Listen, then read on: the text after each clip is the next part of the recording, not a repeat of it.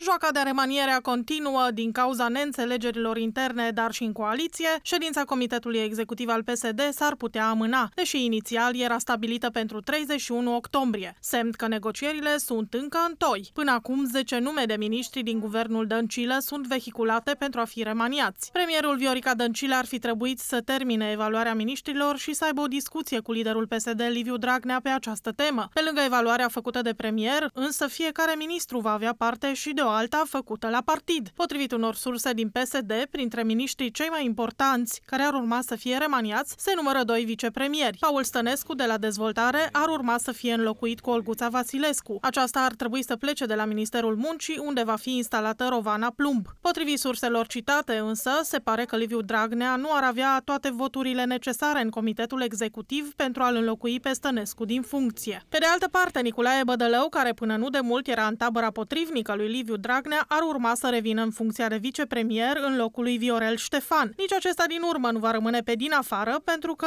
ar urma să preia șefia autorității de supraveghere financiară. Miniștrilor care trebuie să plece li se reproșează că nu știu nici să comunice și nici să gestioneze ministerul. Procedural, în ședința Comitetului Executiv se discută despre activitatea membrilor guvernului, iar liderii partidului supun apoi la vot susținerea politică a fiecărui ministru în parte. Vă asigur că în Comitetul Executiv se va discuta om cu om, ministru cu ministru și se va supune la vot dacă va fi păstrat sau dacă va fi remaniat. Asta e procedura democratică. Cine vine, cine pleacă sunt simple speculații. S-a făcut o dublă evaluare și la partid și la guvern. Sunt două principii pentru fiecare ministru, de a fi păstrat sau nu. Dacă a comunicat foarte bine măsurile pe care le-a făcut și doi, dacă fișa de post a îndeplinit-o 70-80% sau mai puțin de 50%.